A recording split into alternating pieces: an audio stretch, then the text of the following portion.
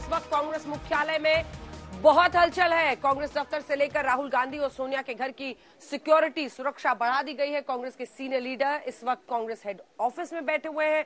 कांग्रेस दफ्तर में बड़ी हलचल के पीछे ईडी का एक्शन है। दरअसल, आज शाम को प्रवर्तन निदेशालय यानी ईडी ने नेशनल हेरल्ड केस में यंग इंडियन के दफ्तर को सील कर दिया।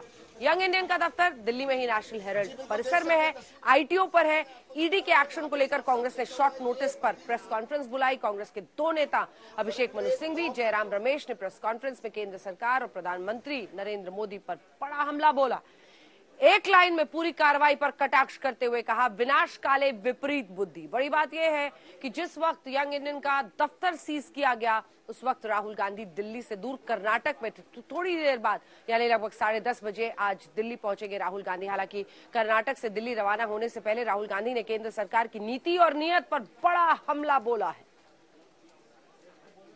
Is BJP nothing in India should be made by small and medium businesses. They want that everything should be made by two or three of their favorite big business people. That is why they changed these rules. लेकिन आखिर ये पूरी हलचल है क्यों किया क्या है आज ऐसा ईडी ने जिसकी वजह से कांग्रेस पार्टी के तमाम दिग्गज आज ज़मीन पर उतरे प्रेस कॉन्फ्रेंस की लगभग शाम के छह बजे बड़े बड़े दिग्गज नेता कांग्रेस दफ्तर पहुँचने लगे जी हाँ आज यंग इंडियन के दफ्तर को आईटी आईटीओ पर हेरल्ड हाउस में ईडी ने टेम्परली बताया जा रहा है, सील कर दिया है।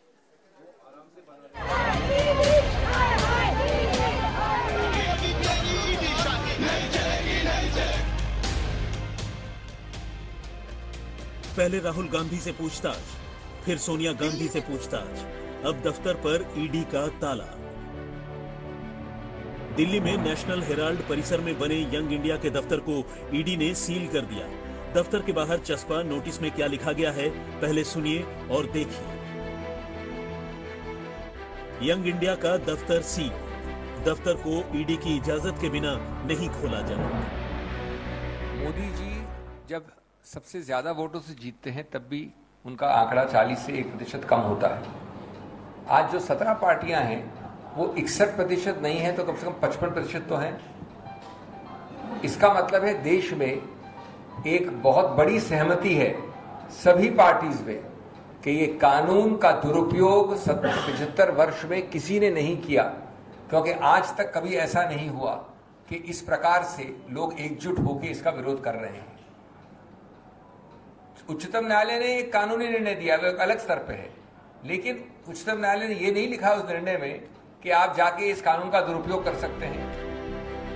इधर ईडी का एक्शन हुआ। उधर कांग्रेस दफ्तर से लेकर सोनिया गांधी और राहुल गांधी के घर की सुरक्षा बढ़ा दी गई। वहीं दूसरी तरफ़ कांग्रेस की टॉप लीडरशिप मुख्यालय पर जुटने लगी। ईडी के एक्शन पर कांग्रेस की पहली टिप्पणी लिखित में आई। ट्विटर पर ईडी के एक्शन की परिभाषा यू की। सत्य की आवाज़ नहीं डरेगी पुलिसिया पहरों से। गांधी के अनुयायी लड़के जीतेंगे इन अंधेरों से। नेशनल हेराल्ड का ऑफ़िस सील करना, कांग्रेस मुख्यालय को पुलिस पहरे में कैद करना तानाशाह की डर और बौखलाहट दोनों दिखाता है। पर महँगाई और बेरोजगारी के सवाल तो फिर भी पूछे जाएँगे।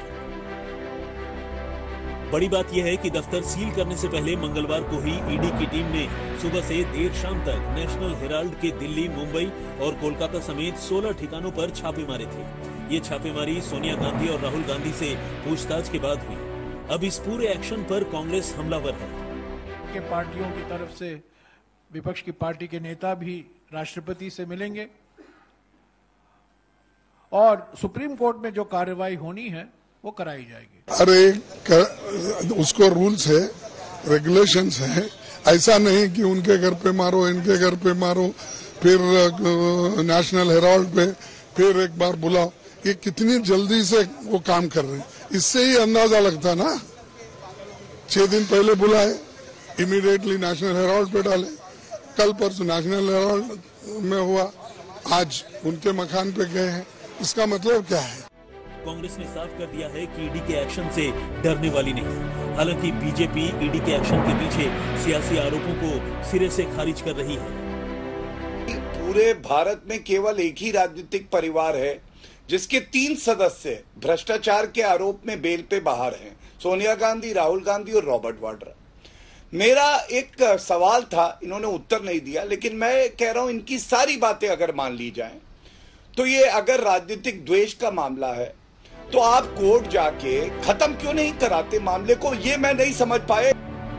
बीजेपी की सफ़ाई विपक्ष के गले नहीं उतर रही। इसे संयोग कहें या प्रयोग। बीते कुछ सालों में विपक्ष के तमाम बड़े नेताओं के खिलाफ ईडी की जाँच चल रही है। पार्टी कांग्रेस, सोनिया गांधी के खिलाफ जाँच। पार्टी कांग्रेस, राहुल गांधी के खिलाफ जाँच।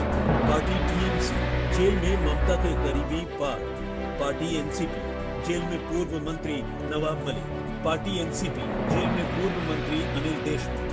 पार्टी एनसीपी प्रफुल्ल पटेल की property attach party AAP jail में हेल्थ मिनिस्टर सत्येंद्र जैन।